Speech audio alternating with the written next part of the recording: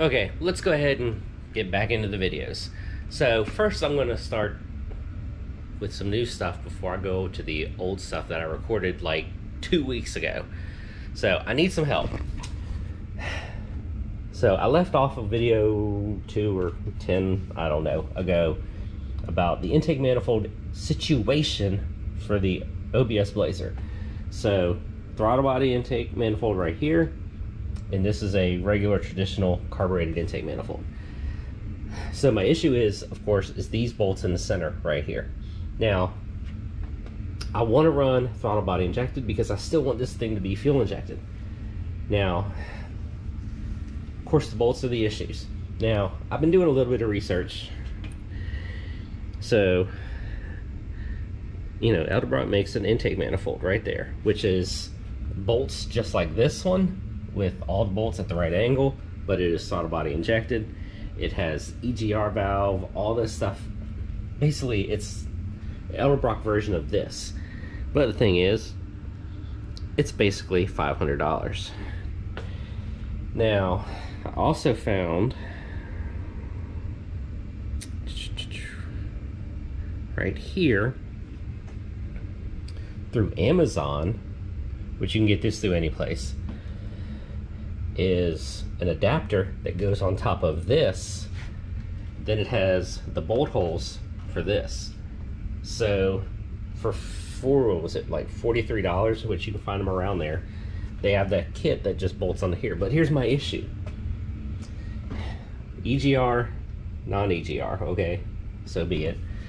Um, water jet right here on throttle body injected, which isn't that big of a deal because they're blocked off on here. So I'd have to switch from this one here to up here. Then this one is in, um, I think this is for the brakes where you get the brake pressure, you know, vacuum. I could switch that to here. So I still just don't know. Then I was also looking and I thought about the other motor. You know, because it bolts, this one will bolt to that motor out there with the, the corner bolts. Well, the thing is, is you go to a Vortec. So this is a Vortec block right here. Now, if you notice, there's no center bolt holes. It's only held down by the four corners. No center bolt holes. So, do you think I could use the throttle body injected manifold? Because you don't need the center bolt holes, evidently. I mean, this one doesn't use them. So could I put the throttle body injected manifold on there and not run the center bolt holes? I don't know. What do you think? I think it'd be possible. Because I'd much, like I said, I would much rather run this because the truck is set up already. All the electronics, all the hoses, everything, it's set up for this. And I think it would be a lot easier than buying the adapter and having to redo a lot of things to get this. I don't know. I'm thinking about trying this. I'm thinking about trying that. What do you think? Putting this in and just not running these bolt holes. What's the worst that can happen? It leaks, and then I gotta start over. I don't know.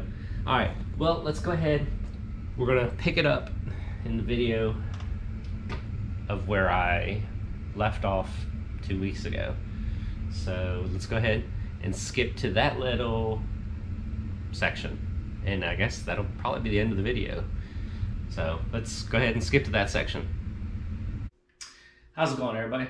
So I don't know exactly what all I'm gonna get into this video, but first thing we're gonna be doing is I am going to be, I've already cleaned these, these wheels and all for the Honda. Now, I use, I always go to the dollar store. So this is a multi-purpose cleaner from the dollar store. It is just, it's a multi-purpose cleaner and degreaser. And of course it's like cherry blossom smell, which isn't that big of a deal, but it's a really good cleaner. I always, for some reason, just tend to go to the dollar store for a lot of stuff because, which I've said before, a lot of their stuff is really good for a dollar. Now, we're going to, and I mean like, ah, they're even clean in the back. I, you know, detailed the crap out of these things. So what we're going to be doing is I'm going to be using the Chemical Guys HydroCharge. It's a ceramic spray coating. And I'm going to be going over, hopefully this works.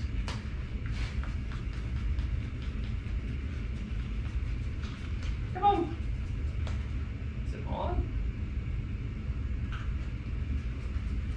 I might need a new spray bottle.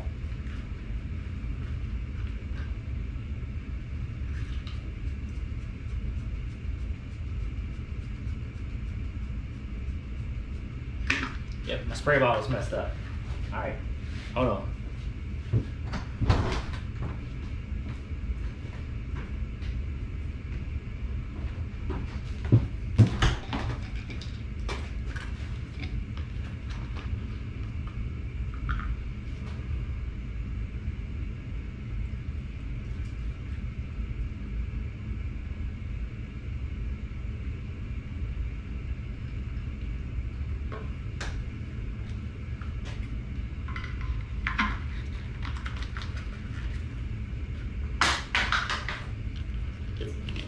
Okay, let's try that again. So that is one of the issues with this stuff is I've always had an issue with the the ceramic coating that's in here. It gets inside the spray nozzle and it really just plays havoc on it. So it just is what it is. All right. Now, every, they say do it, you know, they always, you know, if you read the instructions on their container, they say spray it on a rag, wipe it off. I've always just spray it on and then basically kind of wipe it all around.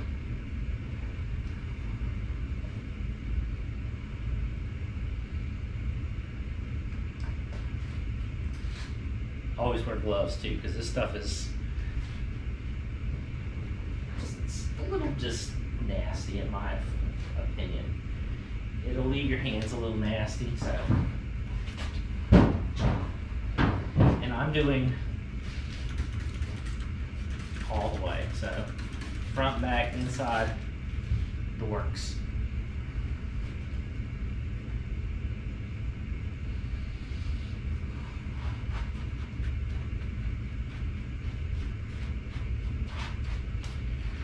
Now, doing a ceramic spray on these like this will help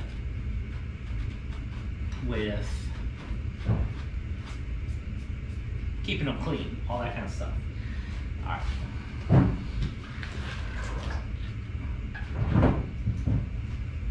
Now, you let that set for a while. Then, just take a nice clean towel and wipe it all off. So, I'm gonna let this sit for about five minutes and then we'll wipe it off.